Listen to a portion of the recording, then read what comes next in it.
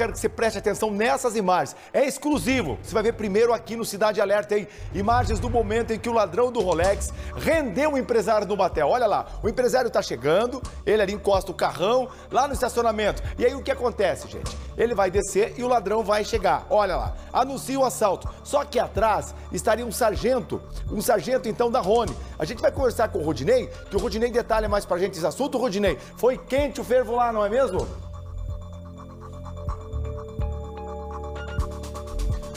Olha, Lúcio, nós estamos falando que na última quarta-feira foi uma tarde de crimes e terror vividos em pelo menos três bairros de Curitiba, causado por essa gangue do Rolex. Porque toda essa confusão começou já no bairro Mercedes, como nós trouxemos aqui também com exclusividade dentro do Cidade Alerta, quando esse mesmo bandido aí, ó, com as mesmas características, assaltou uma mulher, atirou no carro dela, quebrou, estilhaçando o vidro e atingindo o painel.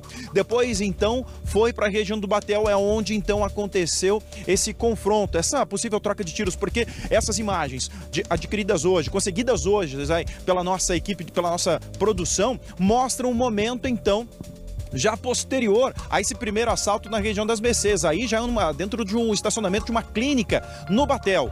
Dá para ver pelas imagens quando o empresário estaciona o veículo e na sequência chega de moto com as características de até mesmo de um entregador, que é assim que eles se disfarçam, né? Já vai direto na parte do motorista, diretamente no motorista, no empresário, anuncia o assalto, mostra a arma. Só que o que o bandido não contava é que no passageiro, junto com esse empresário, estava então esse policial a paisana de folga que muito espertamente esperou o bandido dar o atraque ataque, dá o bote, deu a volta no veículo e aí sentou o dedo sem dó, porque neste caso a vida do empresário também estava em risco, porque ele estava na mira de uma arma de fogo. O empresário, neste caso, também acabou sendo atingido, foi baleado, mas sem risco aí de perder a vida. Mas as imagens são claras. A tentativa, neste caso, sem sucesso, de assalto por parte desse bandido que faz parte dessa quadrilha do Rolex que vem aterrorizando muitos motoristas, empresários, pessoas, como a gente já mesmo disse aqui, pessoas de posse que têm a condição de comprar esses relógios de alto valor, estão aterrorizando.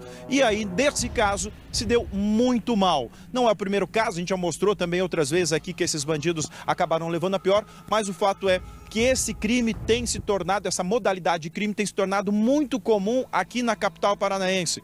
E como a divisão de furtos e roubos aqui de Curitiba também já relatou, na grande maioria das vezes, esses bandidos estão vindo de São Paulo para agir aqui na capital paranaense. Pois é, Rudinei, antes que morrer uma pessoa de bem, que morra um bandido, né? A gente não está aqui para incitar a violência e nem para comemorar a morte de ninguém. Estamos ponderando os fatos. Olha a ação, você que está chegando agora, isso tudo é exclusivo, viu, minha gente? Conseguimos hoje à tarde a nossa equipe brilhante do Cidade Alerta ó. Chega ali o empresário, o bandido vem lá atrás e já anuncia o assalto, baleia o empresário e já leva os pipocos ali. Corre, depois atira contra a polícia e tomba morto. Isso aconteceu na quarta-feira em uma clínica do bairro mais chique aqui da capital, do bairro do Batel.